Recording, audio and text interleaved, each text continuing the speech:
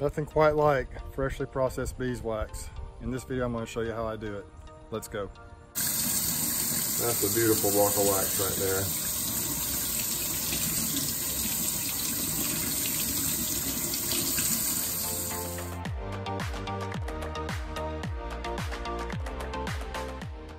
What you see here is what's left of the wax cappings from our honey harvest a couple of weeks ago. As you can tell, the bees have cleaned it up and it's just, the cappings were beautiful. Um, it was really nice and flaky. Can't leave them out here much longer, they'll start to get moldy.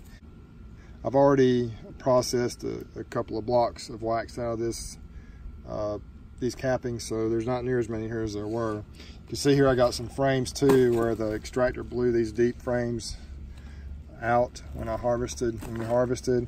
And so I'm gonna pull the wax out of there as well.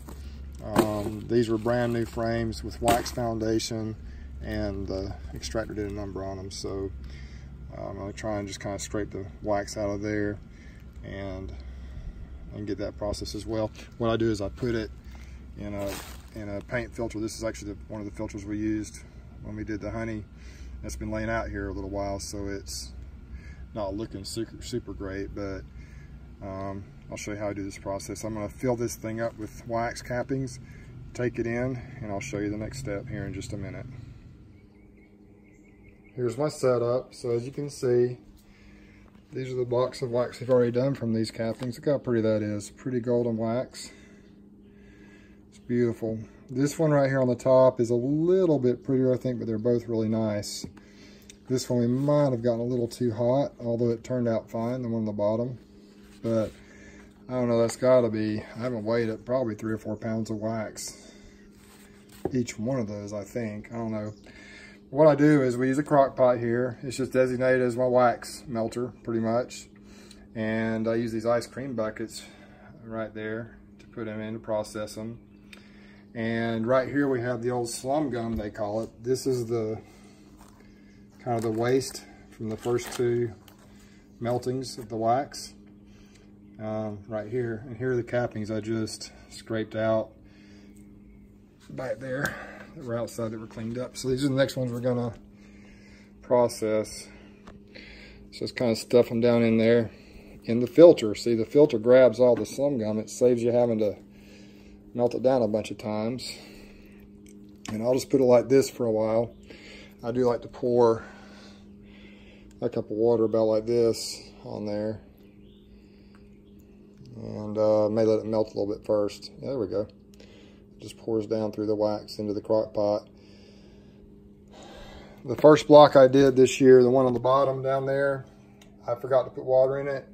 And I had to work to get it unstuck from the bottom of the uh, mold, the bottom of the ice cream container. The second one, I put a cup just like that in it and it popped right out really easily. This one right here.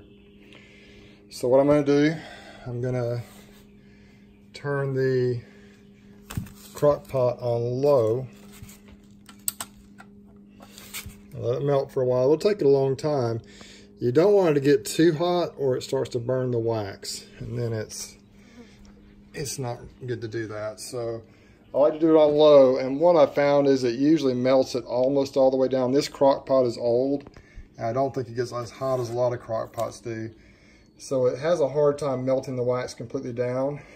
And so it'll get almost completely melted and then I'll turn it to high for just a little while and let it finish melting. And then I go ahead and do the next step. So this will melt down. It looks like a lot in there now, but I haven't really mashed it together a lot. So it will compress down and should end up being a block about that size. So we're gonna leave it alone a while and let it melt down and then we'll show you the next step. Okay, went ahead and poured that from last night in here and you can see it's looking really good. And we got some more going. I'm gonna show you how we do this. So here we go.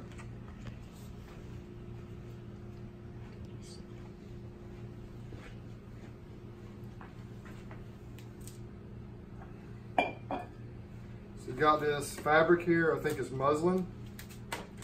And um, first thing we do, so you've got the old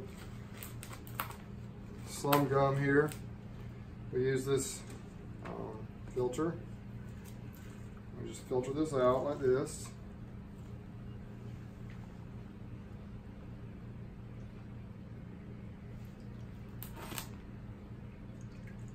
Try and get as much of it as we can.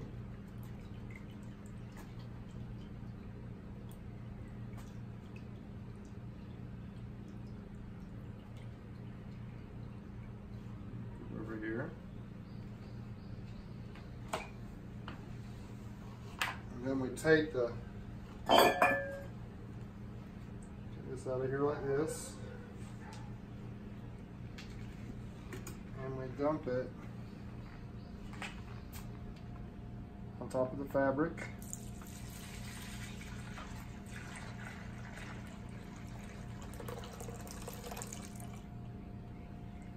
This. use this to catch it in. Let me just pull pull the fabric up and it filters through.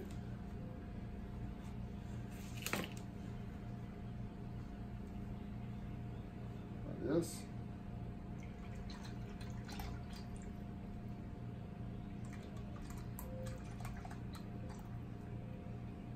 Pretty gold wax.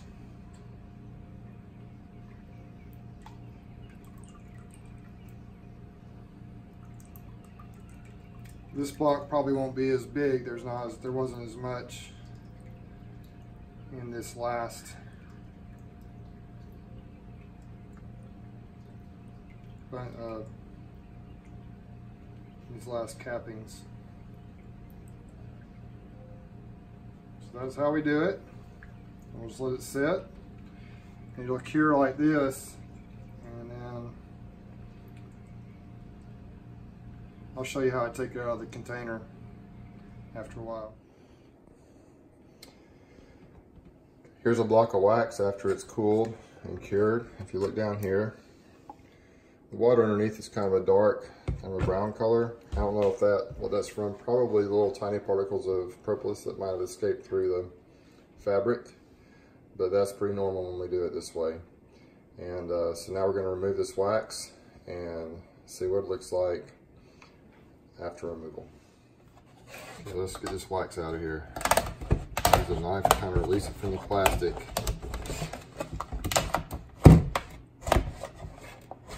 It Tends to stick to the plastic just a little bit.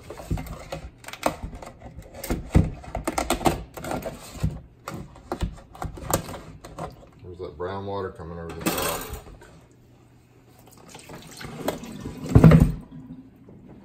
There it is. There's, there's a built right in the middle. You wash that water off. You can take a knife or a scraper and just kind of remove that little brown film that's on there. Kind of like this.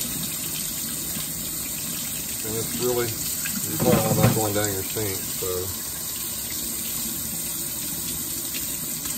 You can just wash and clean it really good.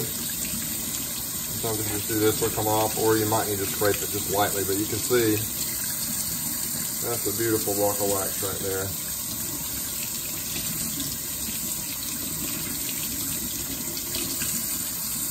And that's how we do it. So that's, I appreciate you watching my channel. On the next video.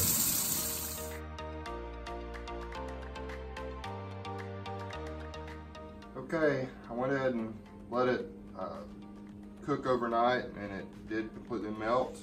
I put the lid on it, it's still on low. Um, it didn't seem to want to melt on low without the lid, so I put the lid on and as you can see, it's done. So what we do now, we just pour it into this container right here. Like this. What am I doing? Uh, you're doing it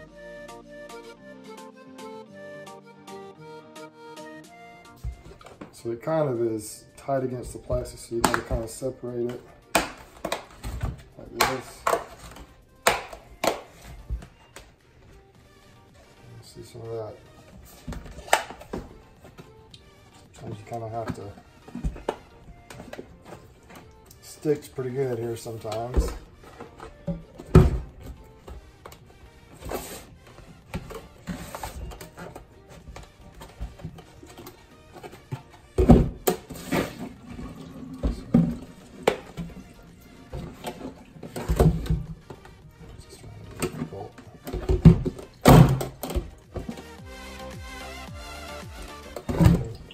It to kind of detach around the edges. And of course it's being difficult this time.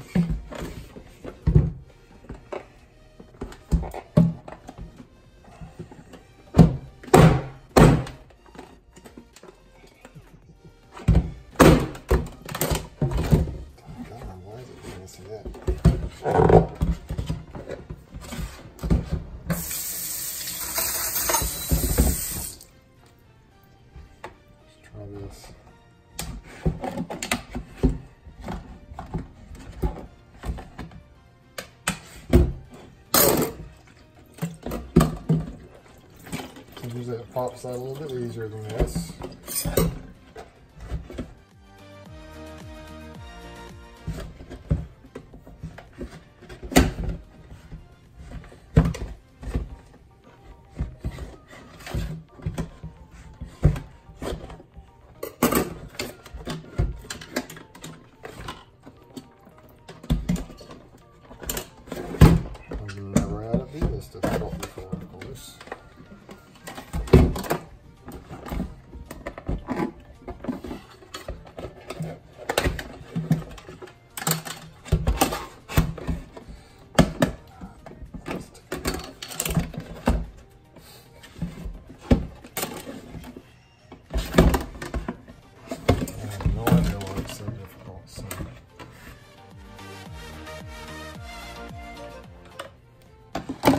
Here it is.